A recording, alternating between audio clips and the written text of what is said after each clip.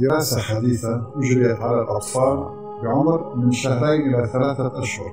وجدوا شيئا غريبا جدا أن هذا الطفل يميز بين الخير والشر. أحضروا مجموعة من الأطفال وقاموا بسلوك شرير أمامهم مثل إيذاء حيوان.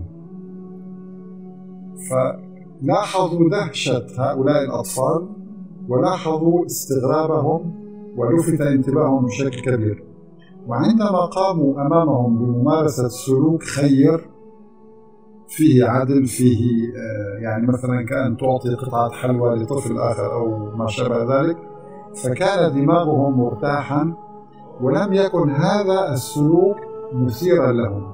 فخرجوا بنتيجة ونشرت مؤخرا أن الطفل الرضيع قبل سن ثلاثة أشهر يستطيع أن يميز بين الخير والشر.